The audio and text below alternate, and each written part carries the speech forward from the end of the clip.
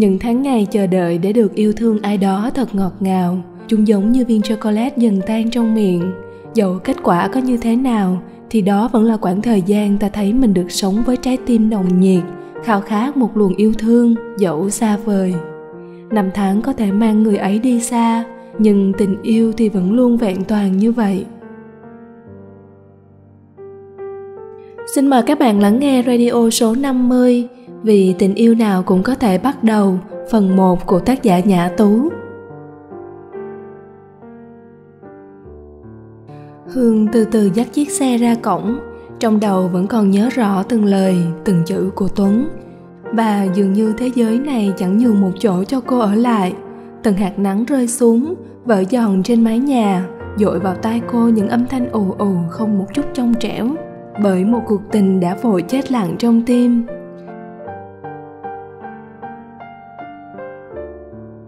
dừng xe trước trầm, một quán cà phê mà cô hay lui tới. Nó không giống như những quán cà phê bình thường khác. Chủ quán là một cô gái trẻ yêu guitar. Có đôi lần còn thấy cô ấy chơi cả violin nữa, nhưng thường chỉ những lúc quán vắng khách. Có lẽ không phải cô ấy sợ tài lẻ của mình, mà chỉ khi ấy, âm thanh mới yên ắng đủ để lắng nghe tiếng đàn của cô cất lên không vội vã.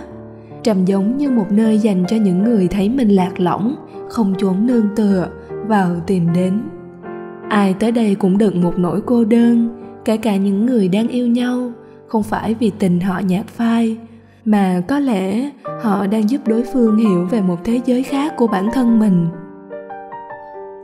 Trước đây, hương thường tìm đến trầm vào những ngày mưa, khi mà cõi lòng da diết nhớ một người, để rồi nhận ra thành phố này cô đơn lắm, chẳng đâu có người đợi mình, mà thật ra có lẽ cũng có một người đợi chờ, nhưng ở một nơi rất xa rất xa. Tuấn lên chuyến bay vào Nha Trang 6 tháng trước, Chỉ còn lại mình cô ngẩn ngơ đứng lại nơi sân bay, Nghe tiếng phi cơ kéo người cô thương đi xa dần. Những ngày sau đó, hương tìm đến trầm bất kể ngày nắng hay ngày mưa, và hôm nay trời rất nắng. Buổi trưa trầm vắng khách và ban nhạc của họ cũng không chơi nữa. Chỉ còn lại tiếng những chiếc thìa chạm vào thành cốc lạch cạch và tiếng bước chân cô phục vụ làm thêm cho quán. Hương nhìn ra phía ngoài cửa sổ, tay xoay xoay ly cappuccino trên chiếc đĩa sứ trắng thanh thoát. Giữa mùa hè, cappuccino ấm nóng cho một kẻ bị bỏ rơi là đúng hay sai? Anh nghĩ chúng ta đã không còn như lúc trước như cái lúc mà em cười vang rồi anh xoa đầu như cái lúc anh buồn rồi em tới ôm. Bây giờ đây giữa chúng ta chỉ là khoảng cách và nỗi lòng không ai thấu hiểu. Em em nên hiểu như thế nào đây? Anh muốn chia tay. Là anh muốn. Phải. Đầu dây bên này chợt im lặng đầy ngột ngạt. Khi người ta xa nhau lấy thước nào đo được khoảng cách giữa hai trái tim hay nó chính là tỷ lệ thuận với khoảng cách địa lý? Khi hết yêu người ta thường có vô vàng những lý do để dừng lại. Có còn là điều gì lạ lẫm nữa đâu? Vậy được chúng mình chia tay. Anh anh xin lỗi. Xin lỗi cũng chỉ là lời nói dối không chủ đích lời nói dối tỏ ý lòng không muốn. Nhưng buồn thay nó cũng chỉ là câu nói bất lực người đi thì cũng đã đi rồi. Nói đôi ba lời cuối nhàn nhạt, vô vị ấy làm chi nữa?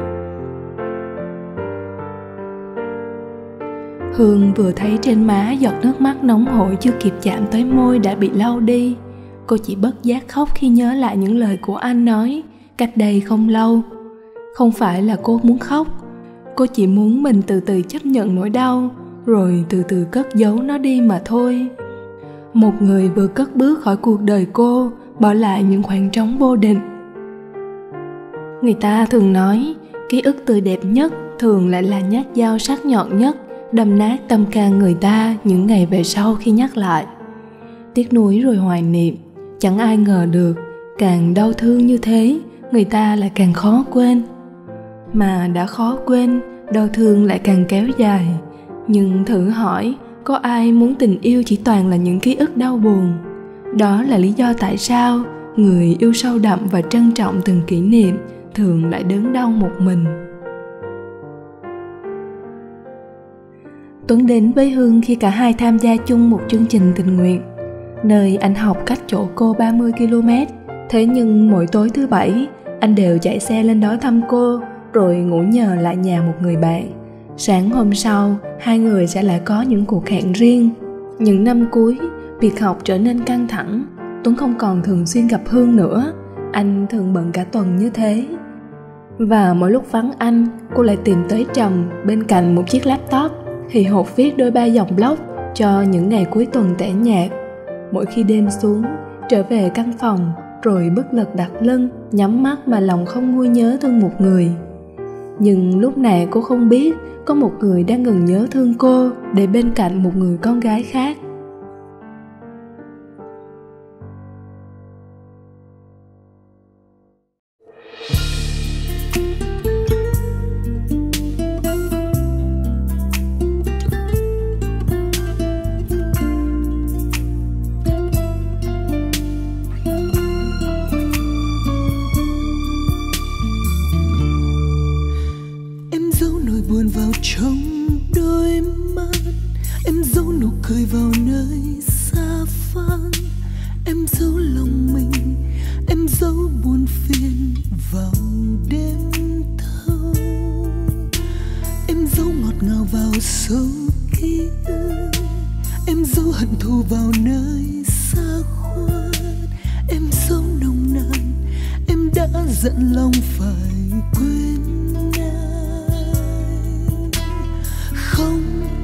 Ai vỗ về từng đêm thức giấc. Không ai bên cạnh để lau nước mắt. Không ai xoa dịu từng đêm heo hắt không không còn ai nữa. Người, giờ đây xa mãi vết dấu vẫn luôn nơi này. Chìm vào vực sâu cô đơn nước mắt rơi đầy ôm em những đêm hao gầy. Rồi nhìn quanh sao không thấy anh ở đây. Phải làm sao quên anh khi bao nhát thương vẫn còn? Từng lời anh nói ấm áp khắc sâu trong hồn. Cần lần môi anh xua tan hết những dối hờn thì thôi em giấu anh vào trong nỗi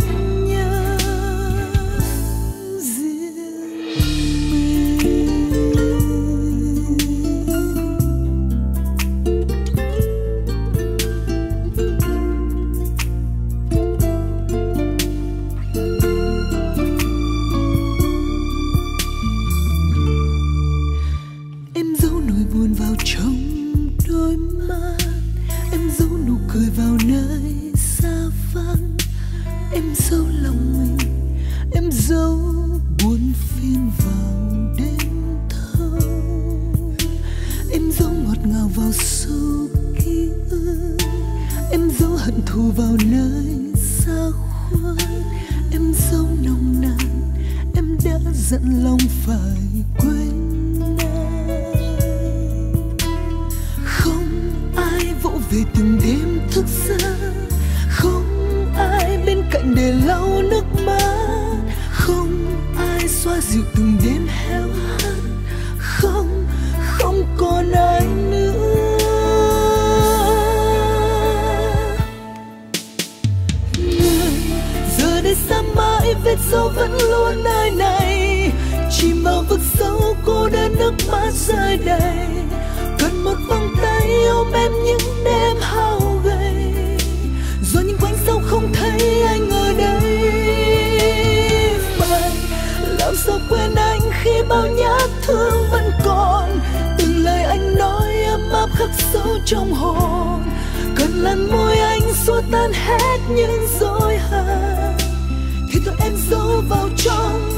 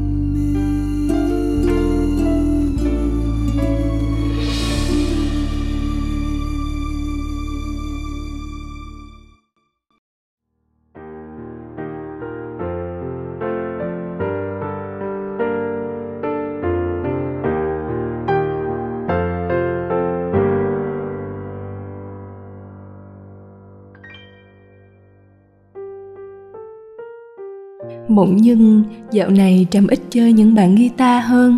Thay vào đó là piano với những giai điệu lóp son Đánh rơi các cô đơn của người ta đi mất. Những ô cửa kính được vẽ lên vài ba họa tiết màu sắc đơn giản. Bên cửa sổ, Những chậu xương rồng được thay bằng hoa cúc Hay một vài loài hoa nho nhỏ nào đó. Hương bước vào quán lần thứ hai, Sau ngày nó thay đổi, Rồi chép miệng một mình. Trầm dạo này yêu rồi điệu đà quá đi thôi. Dù trầm không còn mang cái vẻ trầm lặng như cái tên của nó, nhưng những bình yên của một chốn để tựa vào vẫn nguyên vẹn. Cô chủ ở đây vẫn giấu một chút cô đơn ẩn khuất trong lòng, mặc dù đang yêu đây mà. Sự thay đổi của trầm cũng không có gì là quá khó hiểu. Con người ai cũng có lúc phải thay đổi vì một nguyên do nào đó. Thời gian đi qua đã lâu, cũng đã tới lúc hương đặt trái tim mình giữa những yêu thương nơi đây nơi đón nhận cô đi qua những buồn rồi vui bao tháng ngày.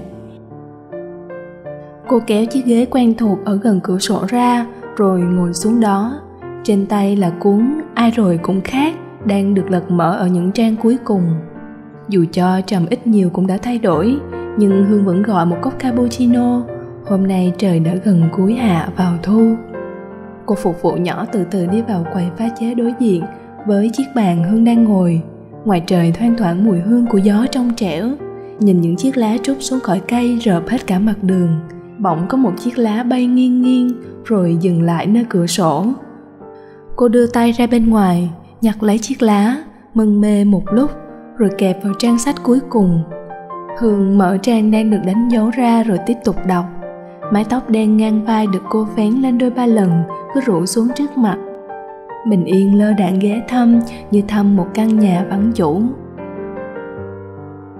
cho tới lúc cô phục vụ đặt ly cappuccino lên bàn, hương mới ngước lên, rồi cảm ơn và mỉm cười. Cô phục vụ vừa quay đi, để lại phía sau là một khoảng trống, đủ để hương nhìn thấy bóng dáng một người con trai rất quen phía trong quầy pha chế. Anh ấy đang ở đâu? Đó liệu có phải là anh ấy, hay là một ai đó chỉ là rất giống anh? Người con trai đó rất giống anh. Ly cappuccino này cũng từ đôi tay ấy. Hương nhấp một ngụm nhỏ, nhưng đôi mắt vẫn không rời khỏi hai người họ. Họ cùng nhau làm việc, cùng nhau nói cười. Đôi khi còn thấy người con trai chọc ghẹo cô gái kia nữa. Vị cappuccino vẫn như thường ngày, không có gì quá khác biệt. Chắc hẳn anh phải thấu hiểu cô gái kia rất rõ thì mới có thể pha nó giống như cô tới vậy. Cô cười nụ cười cay đắng và chua chát. Anh yêu cô gái của trầm, không phải là cô khách của trầm. Phải rồi, ai rồi cũng khác, anh rồi cũng sẽ lại yêu người mới. Nhưng thời gian ấy trôi nhanh một cách bất ngờ. Vừa trong hai tháng chia tay, anh đã trở về với trầm với vòng tay của một người con gái khác, không phải cô. Anh đã biết trầm như thế nào? Tuấn đứng trong quầy pha chế khi quán vắng khách, rồi vòng tay từ phía sau cô gái đó hương cúi xuống giấu đi nét căng thẳng trên gương mặt. Những nỗi đau vừa mới ngủ yên nay lại trỗi dậy mạnh mẽ, giảm đạp lên con tim cô. Hương đứng dậy, rời khỏi trầm. Cô đang cố chạy trốn khỏi cảnh tượng trước mắt, nhưng càng muốn đi nhanh, bước chân lại càng chậm lại. Đột nhiên, cô khuỵu xuống, rồi ngất liệm đi giữa trầm. Xin mời các bạn lắng nghe phần tiếp theo của truyện ngắn vì tình yêu nào cũng có thể bắt đầu vào radio kỳ tới.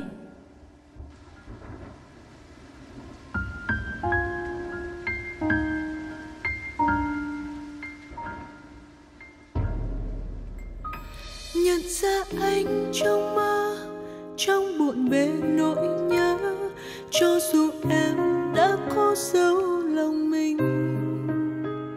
Dấu bất chợt tràn về sẽ lên ký ức ngủ quên. Kỷ niệm xưa dâng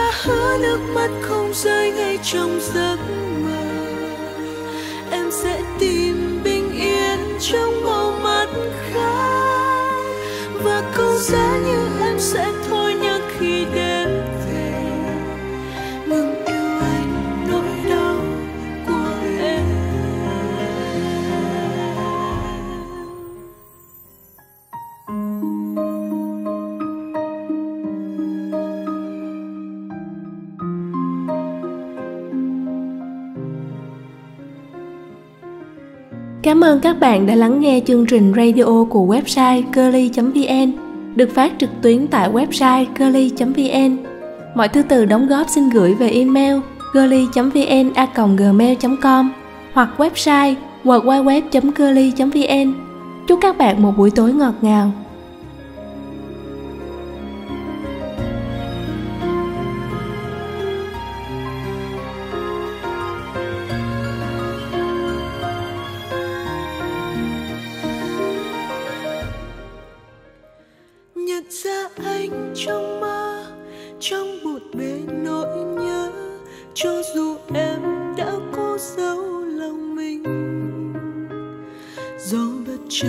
Chợt tràn về